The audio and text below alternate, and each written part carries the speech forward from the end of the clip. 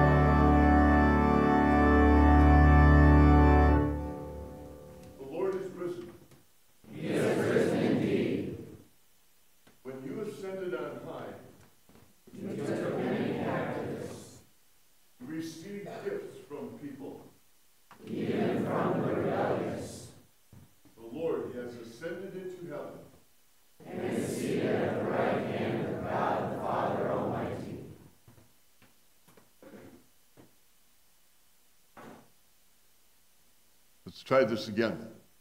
That working? Sorry about that. Thank you.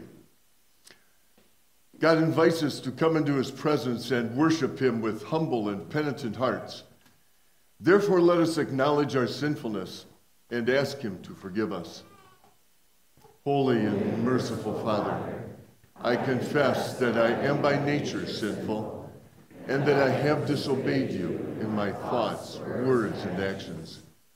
I have done what is evil and failed to do what is good. For this I deserve your punishment both now and in eternity. But I am truly sorry for my sins. And trusting in my Savior Jesus Christ, I pray. Lord, have mercy on me, a sinner. God, our Heavenly Father, has been merciful to us and has given his only Son to be the atoning sacrifice for our sins. Therefore, as a called servant of Christ, and by his authority, I forgive you all your sins in the name of the Father, and of the Son, and of the Holy Spirit. The Lord is risen. He is risen indeed. And we'll join in the responsive song of praise.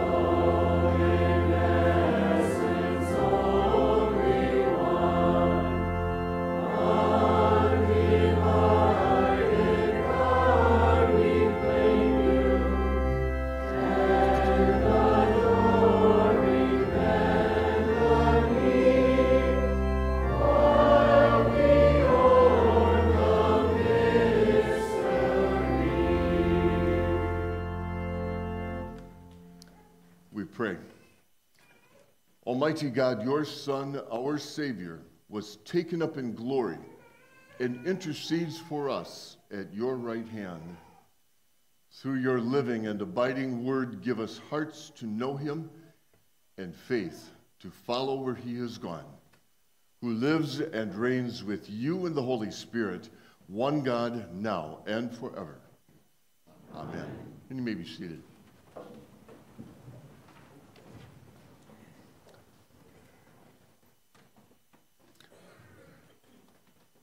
Our scripture readings for today, these first two, uh, both focus on the ascension of the Lord Jesus, the first of which comes from the opening verses of the book of Acts, where St. Luke, who is the inspired author, gives us the fullest account we have of the ascension of the Lord Jesus. Luke writes In my former book, Theophilus, which, by the way, is a beautiful name. It means lover of God, Theophilus.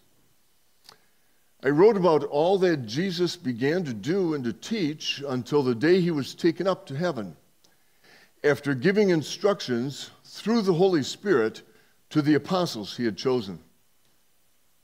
After his suffering, he presented himself to them and gave them many convincing proofs that he was alive. He appeared to them over a period of 40 days and spoke about the kingdom of God. On one occasion, while he was eating with them, he gave them this command Do not leave Jerusalem, but wait for the gift my Father promised, which you have heard me speak about. For John baptized with water, but in a few days, you will be baptized with the Holy Spirit. Then they gathered around him and asked him, Lord, are you at this time going to restore the kingdom to Israel? He said to them, It is not for you to know the times or dates the Father has set by his own authority, but you will receive power when the Holy Spirit comes on you and you will be my witnesses in Jerusalem and in all Judea and Samaria and to the ends of the earth. After he said this, he was taken up before their very eyes, and a cloud hid him from their sight.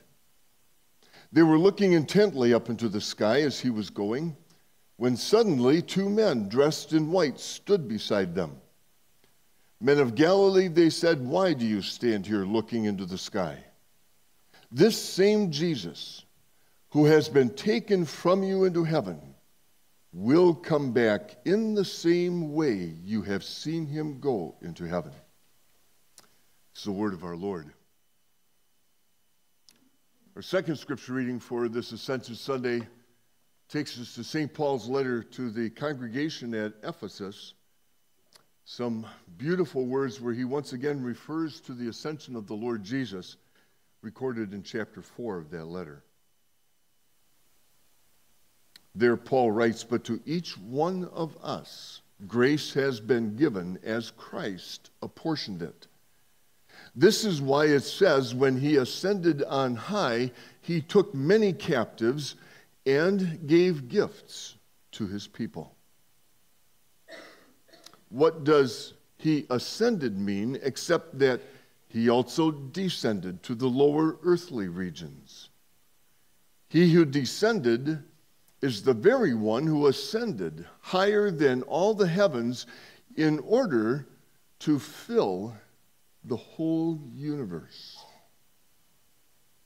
So Christ himself gave the apostles, the prophets, the evangelists, the pastors, and teachers to equip his people for works of service so that the body of Christ may be built up until we all reach unity in the faith and in the knowledge of the Son of God and become mature, attaining to the whole measure of the fullness of Christ.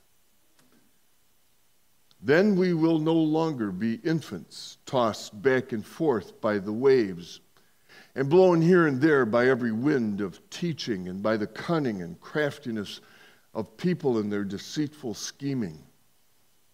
Instead, speaking the truth in love, we will grow to become in every respect the mature body of Him who is the head, that is Christ.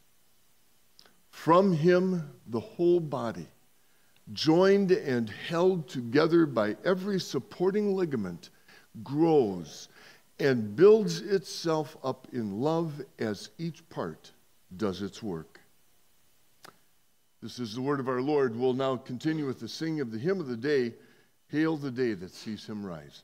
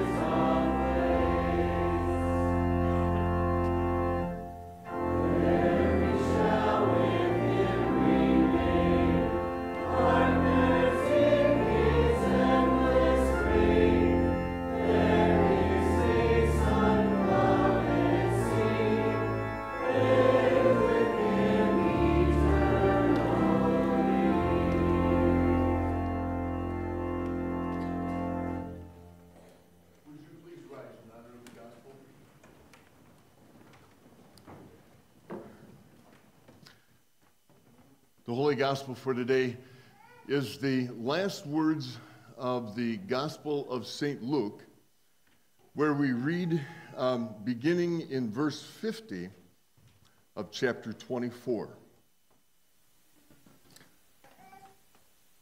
And it's speaking about Jesus and his disciples. When he had led them out to the vicinity of Bethany, he lifted up his hands and blessed them. While he was blessing them, he left them and was taken up into heaven. Then they worshiped him and returned to Jerusalem with great joy. And they stayed continually at the temple, praising God. This is the gospel of our Lord. Thanks, be to God. And you may be seated.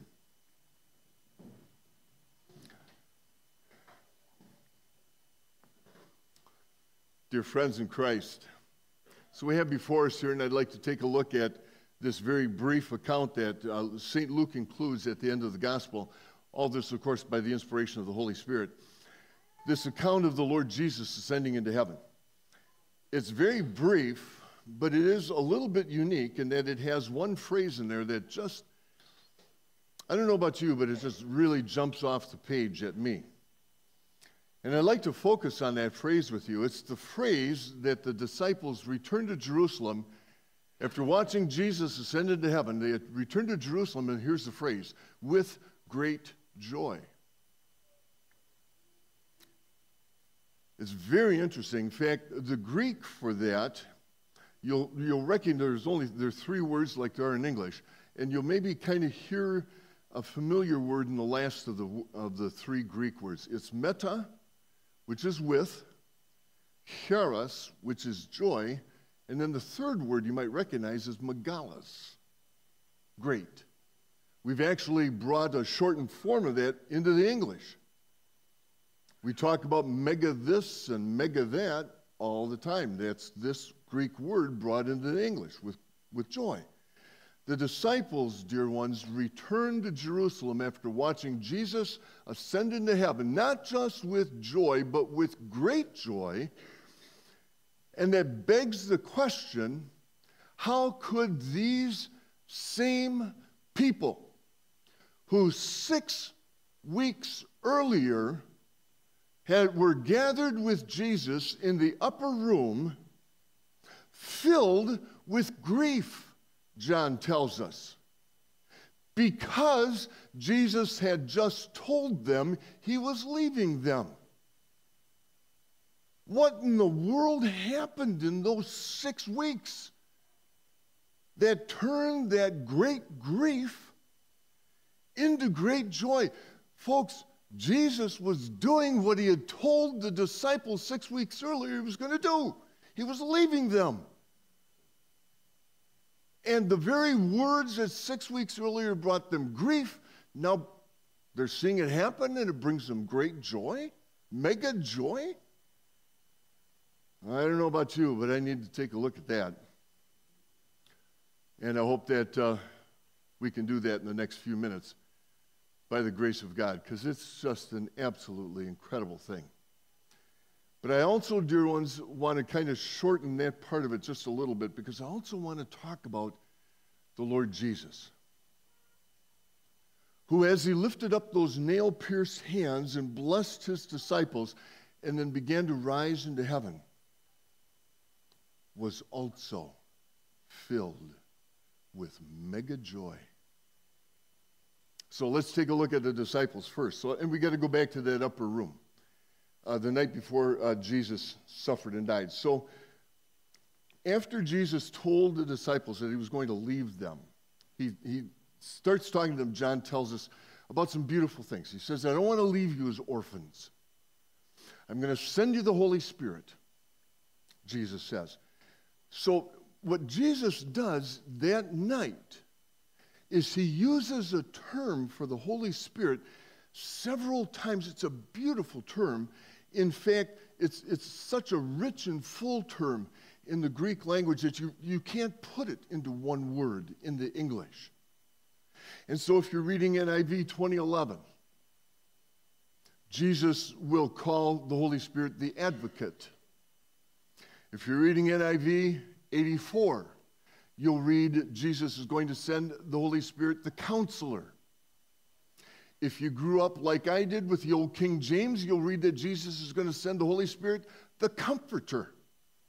All of those words, beautiful and a little distinct from each other, and each conveying a facet of this incredible gift that Jesus is going to pour out on those disciples this gift of the Holy Spirit. Now, he's a substitute for Jesus. Okay? The Holy Spirit's a substitute. He's not Jesus. He's the third person of the Trinity, not the second. And when you and I talk about a substitute coming in, a lot of times we're thinking about maybe um, some kind of athletic contest. And if a substitute's coming in, typically that means the starter's out, right? And the starter typically is up here, and its substitute is somewhere down here. Not with the Holy Spirit. He comes in with His grace and power and does not miss a step. And all you got to do is come next week when we talk about the outpouring of the Holy Spirit on Pentecost to be reminded that the disciples did not miss a step with the Lord Jesus leaving and the Holy Spirit coming. And Jesus began to put a little flesh on this beautiful term, advocate, that he used for the Holy Spirit. Talked about the Holy Spirit coming and being with the disciples forever. What a contrast to Jesus just telling them that he was leaving. Once he finished his work, there was no reason for him to remain on earth. And we'll talk about that in just a minute. And among the different things that Jesus told the disciples that night concerning the Holy Spirit, he also told them, he called the Holy Spirit the Spirit of truth, and said that when he, the Spirit of truth, comes, he will guide you into all truth. That's a promise, folks, from the Son of God Himself.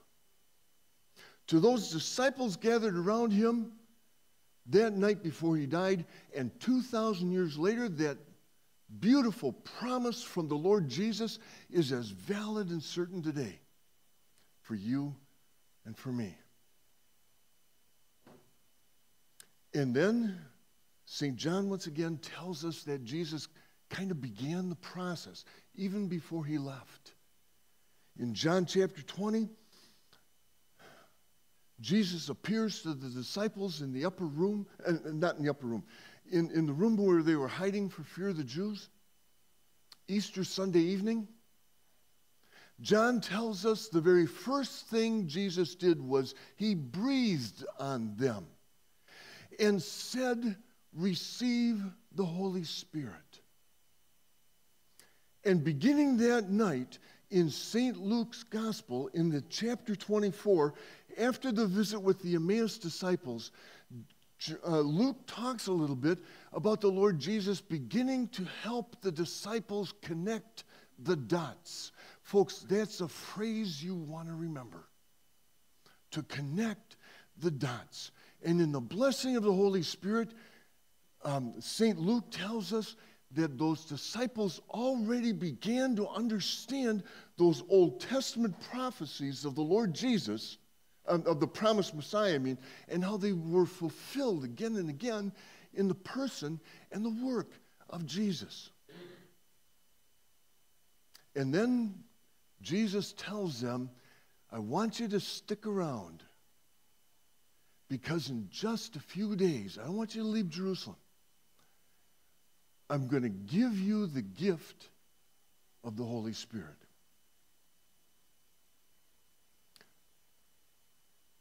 Now, as the disciples go along with the Lord Jesus out to the Mount of Olives, and Jesus raises his hands in blessing on them and begins to ascend into heaven. The fear, the despair, the sorrow that they felt on that first Maundy Thursday is already beginning to dissipate. As the Holy Spirit, in His grace and mercy, works in them the understanding that all of this was part of God's plan. And that in His grace, and mercy.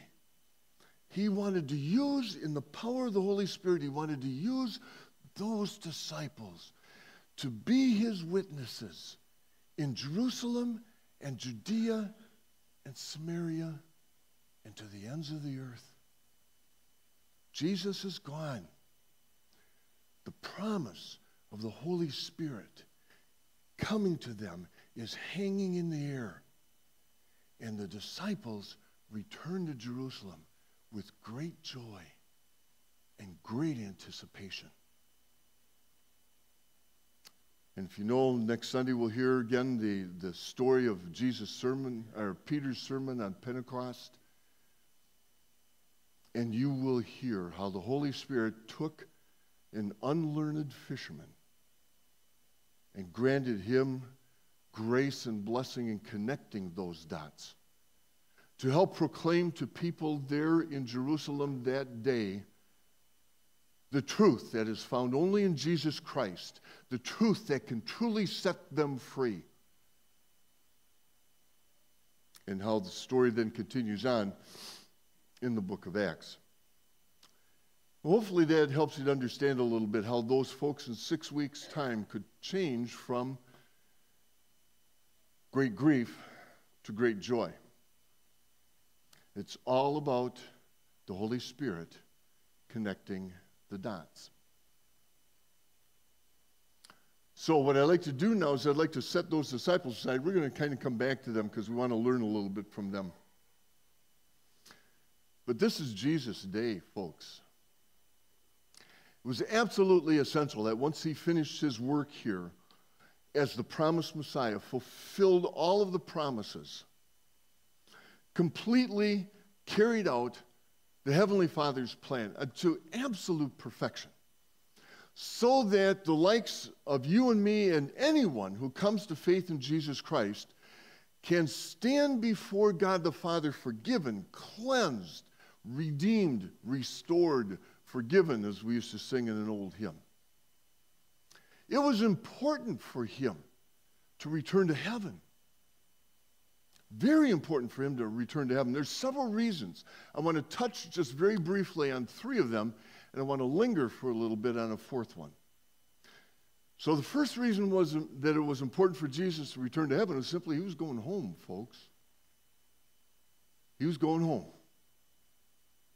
And actually, he was just paving the way for the day when you and I will be called from this vale of tears to himself in heaven, when you and I will truly go home. Don't want to stop a guy from heading home. Work here was done. Going back to heaven to receive all the praise and glory that was due him as the Son of God and the Savior of the world. The second reason is he, what he told the disciples the night before he died. He said, I'm leaving, but I'm leaving, he said, because I'm going to my father's house to prepare a place for you. And if that wasn't so, I wouldn't have told you that. Do you understand, dear ones, the joy in Jesus' heart as he prepares lovingly and carefully a place for each one of us, perfectly suited for us. That in tune, that intimate is he with you and me in our lives. And that joy filled you make your Savior as you walk with him absolutely delights to see that regardless of the sufferings of this present life, your focus by His grace remains on Him. And every, just take a builder's term, every nail Jesus pounds in that place for you, He does with a fullness of joy, anticipating the day when you will be with Him. And all the saints have gone before in the mansions of heaven. And do you think he's forgotten you? He hasn't. St. Paul says reason number three Jesus is back in heaven again is so that he can take his place at the Father's right hand and, are you ready for this? Intercede for you. Far from forgetting you, dear ones, far from leaving you as orphans. He hears your every prayer and he takes those prayers and lays them before the Heavenly Father in His name. And for His sake, says, Father, hear these prayers. And the Father is so delighted in His Son that He does for you and for me. Three good reasons, dear ones, why Jesus couldn't linger on this earth, but needed to return to heaven. Now, I want to take you to a fourth reason, and it's going to take just a little bit. It has to do with the very first vision St. John received and recorded in the book of Revelation. Book of Revelation is filled with visions. This is the first one that really sets the standard and the foundation for all the other visions that are going to come. It's in Revelation 4 and 5. John tells us that he was taken by the Spirit to the throne room of heaven. Now, I want you to try to picture this. on this massive throne sits God Himself. And John tells us every creature in heaven was there. All the saints were there. All of the angels were there. And then, right next to the throne, there's a ring around the throne of 24 smaller thrones. And seated on them were elders. We don't know exactly who those folks are. They're sitting right at the foot of the throne of God Himself. And on the four corners of the platform where God sits on His throne are four what are called, John calls them living creatures. May have been cherubim, we don't know for sure standing at the four corners. And here's John, privileged to be there. Then John says he looked and he saw in the right hand of the one sitting on the throne a scroll. And John could tell that there was writing on both sides of the scroll, and it was sealed with seven seals. Everybody in heaven is anxious for this scroll to get open. Because this scroll contains the history of God's people on this earth until Jesus comes to take his bride, make her complete, saints above and saints below, take them to heaven to be with him forever. Everybody's excited about that. John says, I heard a mighty angel proclaim, Who is worthy to take the scroll and open its seals? Now remember, I'll tell, I'll tell, you in just a second why, but remember, John is down someplace close to the throne. So he's got all these folks behind him. And you can see him turning around and looking in anticipation. Who's going to come and take the scroll? Do you know who's there, folks? Let's just think a little bit. Let's put them in categories and let's just think about it for a second. We got the saints there first. Guys like Noah. Do you realize there's only two people in the Bible, and Noah is one of them, who's described as someone who walked with God? He's there. Abraham is there. The only man in the Bible called a friend of God. David is there. How about David? The only person in the Bible described as a man after God's own heart. Esther was there. And that's just a very short list of all of the saints who were there. Not one of them worthy to take the scroll and open the seals. Like I said before, all the angels were there. John gives us a number. Says thousands upon thousands, 10,000 times 10,000, which is just a long way of saying countless. Countless numbers of angels are there, including Michael. He's called an archangel. Sounds like something kind of a superior position among the angels. Gabriel is there, the messenger of God. Not one of them worthy. Then you got those 24 elders sitting on the thrones around the throne of God. You have the four living creatures on the four corners right next to God. Folks, not one of them worthy to take the scroll and open the seals. And it begins to dawn on John. This does.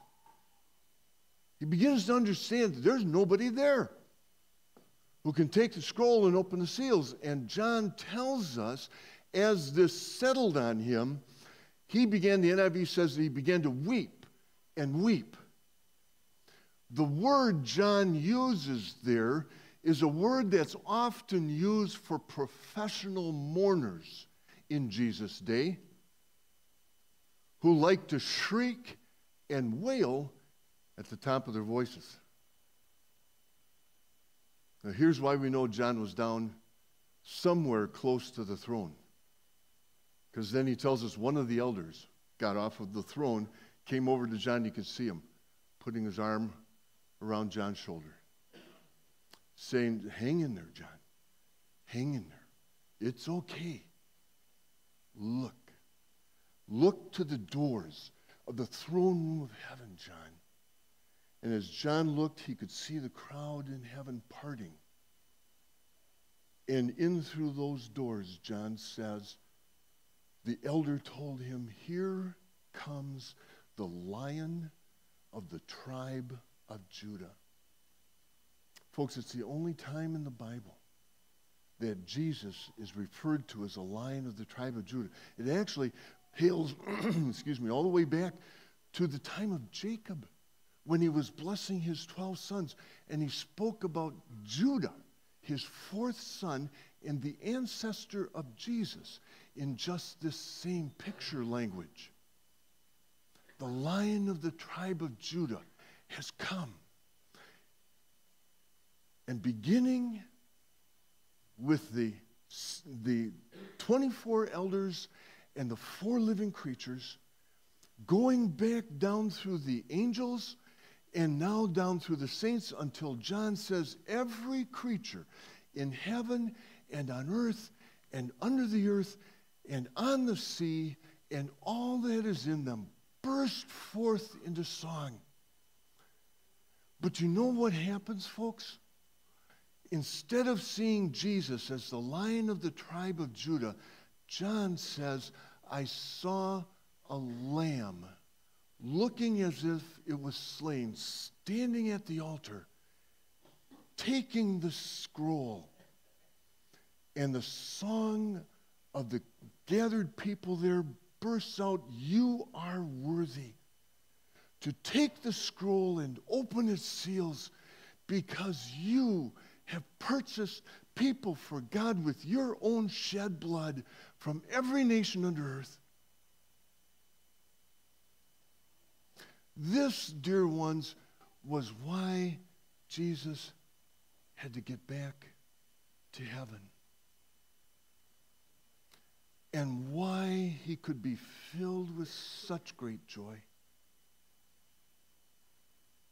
As he took his rightful place, and as he took that scroll, and in the following chapters in the book of Revelation, we find out exactly in beautiful picture language uh, apocalyptic language, the events that will transpire before the end of the age when Jesus, as promised, will return again in glory to judge the living and the dead and to take all who are still alive and looking forward to his return to be with him, joined together with the saints in heaven, to be with him forever. Joy, mega joy in the heart of Jesus as he returned to heaven. Mega joy, dear ones, as the disciples here on earth, in the blessing of the Holy Spirit, had those dots connected one by one and would take the truth as it is found only in Jesus to the ends of the earth. Do you understand, dear ones, that the gift of the Holy Spirit that God gave to you and to me and many of us on the day of our baptisms, many of us when we were infants years ago,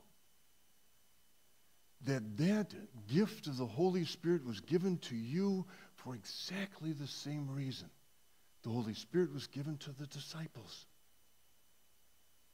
It was so that you folks could begin to connect the dots between your life experiences and the promises that God has extended to you in His Word. He invites you to meet with Him there in His Word so you can be reminded of those promises He has, been, he has made to you. And in the good grace of the Holy Spirit, to help you day by day see, oh, in fact, Jesus does know. Jesus does care. Jesus does understand. Jesus can indeed sustain me through this day by his grace. He has returned to heaven. He is seated at the Father's right hand. But he has also promised, I will be with you always to the end of the age. And he is as good to that promise today, dear ones, as he ever was. There was an Old Testament leader by the name of Nehemiah. Brought Israel back one of the returns after the Babylonian captivity, not the first, one of the other ones. Came back, was uh, just a great leader, really helped to get things, along with Ezra, shaped up after the folks came back from the captivity and were just kind of confused and not really sure what to do. On one occasion, Nehemiah told his faithful people, You'll recognize this. You'll be able to finish it with me, and I'd like you if you would, if, you, if you're able to. He once told God's repentant people, Are you ready? The joy of the Lord is your strength. Let's say that together. The joy of the Lord is your strength. Isn't that cool? I mean, that's real joy. That's a kind of joy that you and I just don't experience every day. The kind of joy we experience comes and goes, right? Try and keep it around for a little while. It's, well, one guy said it's kind of like train, trying to nail jello to a tree. The kind of joy that the Lord gives folks is the kind that can bring you strength day by day by His grace. As you focus on Him, keep your eyes fixed on Him, listen to Him in His Word, fellowship with Him through His people and through Holy Communion. And He promises, dear ones, that there will be joy, great joy, mega joy that will sustain you in any challenge of life. It's a cool phrase, isn't it? The disciples returned to Jerusalem with great joy. It is a cool phrase. Be real easy to pass over. God grant that it becomes to you and me the theme of our lives. To his glory. Amen. Would you please stand?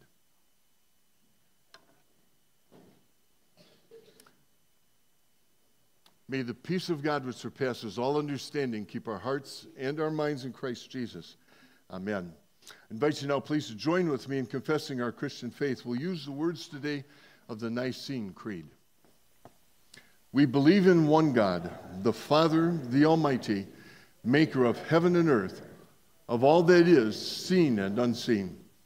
We believe in one Lord, Jesus Christ, the only Son of God eternally begotten of the Father, God from God, light from light, true God from true God, begotten, not made, of one being with the Father. Through him all things were made. For us and for our salvation, he came down from heaven, was incarnate of the Holy Spirit and the Virgin Mary, and became fully human. For our sake, he was crucified under Pontius Pilate he suffered death and was buried. On the third day, he rose again in accordance with the scriptures. He ascended into heaven and is seated at the right hand of the Father.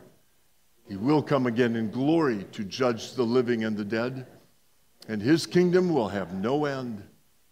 We believe in the Holy Spirit, the Lord, the giver of life, who proceeds from the Father and the Son who in unity with the Father and the Son is worshiped and glorified, who has spoken through the prophets. We believe in one holy Christian and apostolic church. We acknowledge one baptism for the forgiveness of sins. We look for the resurrection of the dead and the life of the world to come. Amen. You may be seated for the offering, and during the offering, once again, please take one of those uh, connection cards that you find in the hymnal rack. And if you would please fill that out and you can put it in the collection plate as the ushers come by.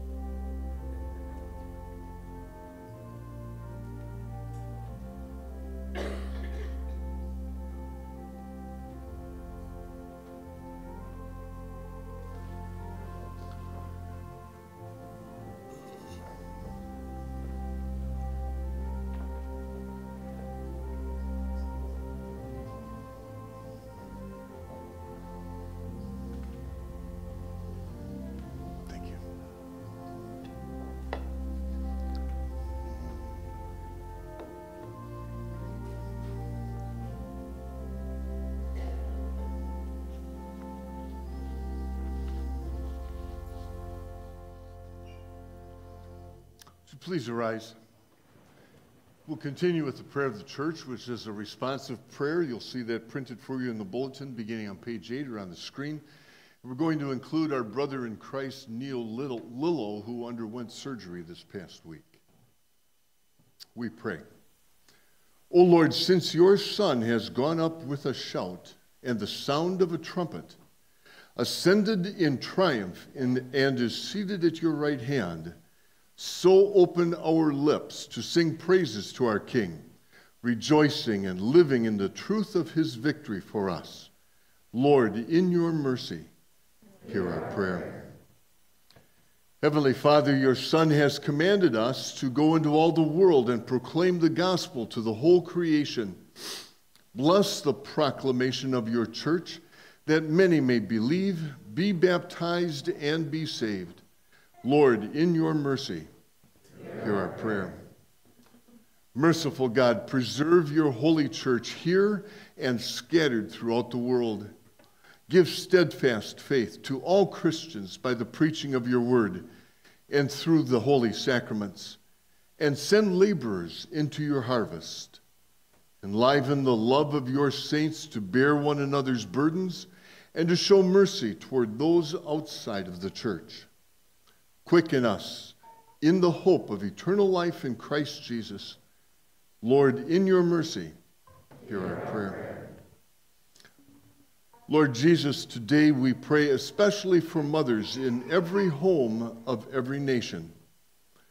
We pray for mothers as they work in and out of the home. Give them peace in the middle of busyness. We pray for mothers of children with special needs and single moms. May they know our Father as a God of power and strength. We pray for expectant moms. Protect the life growing in them. We pray for future moms. Give them faith to trust your plan for them. We pray for those grieving their mothers and for mothers grieving their children. Give them your comfort, even through their pain. Gracious Heavenly Father, we thank you for watching over our brother in Christ, Neil Lillo. for working in him by your grace and the power of your Holy Spirit to connect the dots in his heart and mind. So that as he approaches and comes through this surgery, he can trust in your promises that you will never fail him or forsake him. To him and to all that love him, we pray your grace and blessing. And the patience, O Lord, to understand that you make all things work together for good to them that love you. Finally, we thank you, Jesus, for the gift of all mothers who, through history, have shown us a little picture of your perfect and sacrificial love. Thank you especially for Christian mothers who have, been, who have made you known to us. And we join together in the prayer our Savior taught us. Our Father, who art in heaven, hallowed be thy name. Thy kingdom come, thy will be done on earth as it is in heaven. Give us this day our daily bread, and forgive us our trespasses, as we forgive those who trespass against us. And lead us not into temptation, but deliver us from evil. For thine is the kingdom, and the power, and the glory forever and ever. Amen. The Lord be with you. And also with you. Lift up your hearts. Up to the Lord. Let us give thanks to the Lord our God. It is right to give him thanks and praise. It is truly good and right that we should at all times and in all places give you thanks, O Lord, Holy Father Almighty and everlasting God, through Jesus Christ our Lord, who by his willing sacrifice on the cross took away the sins of the world, and by his glorious resurrection restored everlasting life. Therefore, with all the saints on earth and hosts of heaven, we praise your holy name and join their glorious song.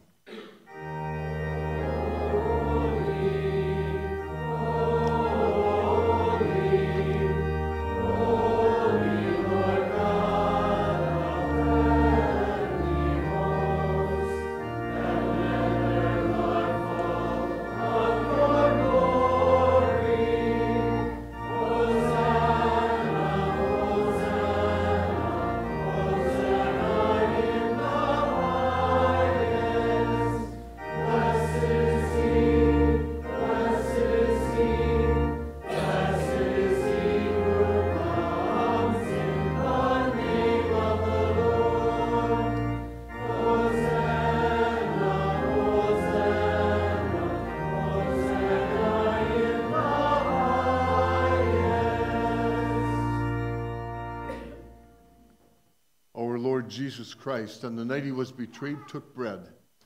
When he had given thanks, he broke it and gave it to his disciples, saying, Take and eat.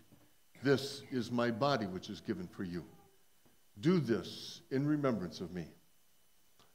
Then he took the cup after supper, gave thanks, and gave it to them, saying, Drink from it, all of you.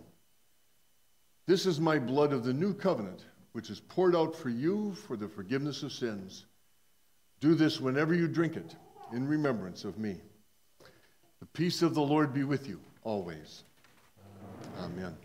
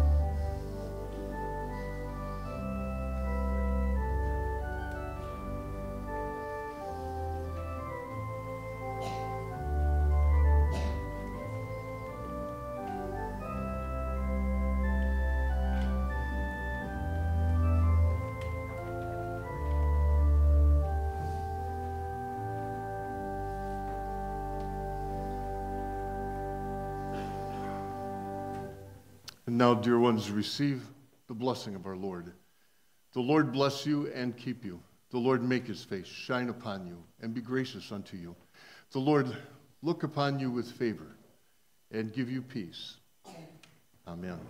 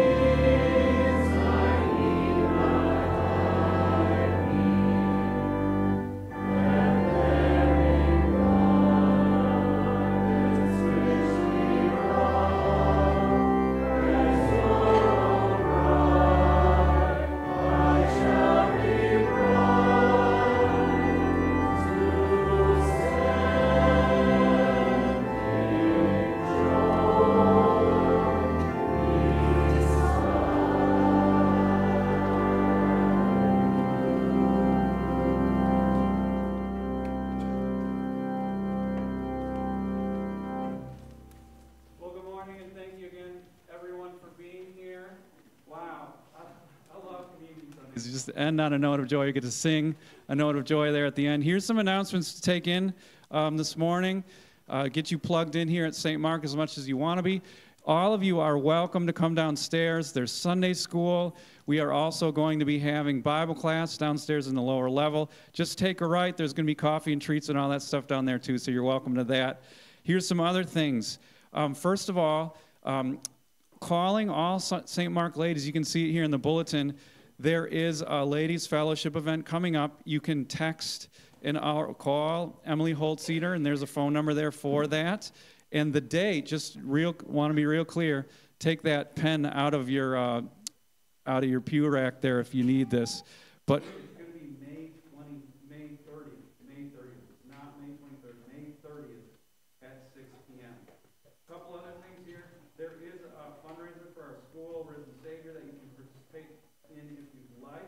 There's a fly for that in the Welcome Center on the, on the back table at the left. It's got a black tablecloth on it, and you can grab that Buffalo Wild Wings. They're going to donate 15% of the total bill, and that's May 13th. Teen Fellowship's coming up at Wow Zone on June, in, uh, in June, on June 2nd, 4 p.m. That's for 7th through 12th graders, so you can make note of that, those of you who might be involved in that. And one last thing, I wanted just to ask you guys to pray for something. We're going to be doing a major outreach push here at St. Mark over the summer. And you're going to be coming, you're going to be hearing more about that. Some of you are going to tap you on the shoulder because you put on your spiritual gifts list that you're interested in canvassing, you're interested in doing evangelism.